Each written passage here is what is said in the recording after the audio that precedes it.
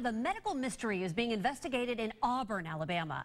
Oncology researchers want to know why five people who either attended Auburn University or worked on the campus at the same time have been diagnosed with the same rare cancer. Sherry Jackson reports from Birmingham on where it could be a cluster or just a coincidence. You can look, but you can't see, even if you focus very closely on Lori Lee's eyes. What's going on inside them isn't visible to the naked eye. If you wanted to talk to them for a little bit now. It stems from something doctors suspect happened decades ago when Lori attended Auburn University back in 1985 through 89.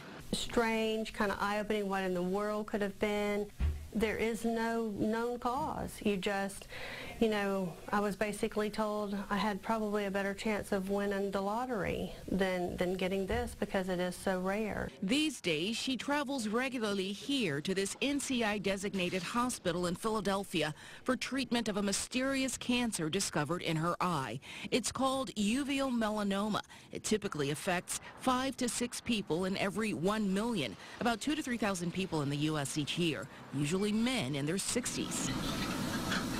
This lab inside the Sidney Kimmel Cancer Center at Thomas Jefferson University is where they study the rarest of the rare eye melanomas. Five cases from the Auburn community got their attention. Because it's a rare disease and you don't expect people to know someone. But someone did in our state. We did have someone down um, in Alabama who actually mentioned, oh yeah, actually, two girls that I went to college with were also diagnosed with this rare cancer. And so really that's kind of what started our suspicion or investigation into potentially what could be what could be happening. Very strange. We have couple of, start looking around. You know, we're asking, keep asking the same question.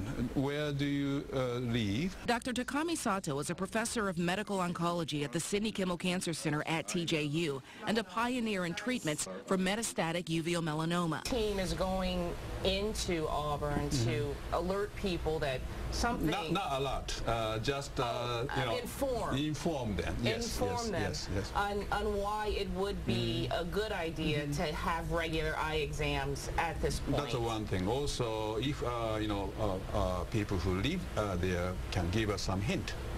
You know, Dr. Sato, Dr. Orloff.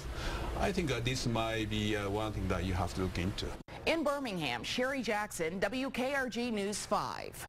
Well, Auburn University issued a statement saying they welcome the cancer researchers to campus and said, quote, our understanding is the scientific community is not yet established what causes it.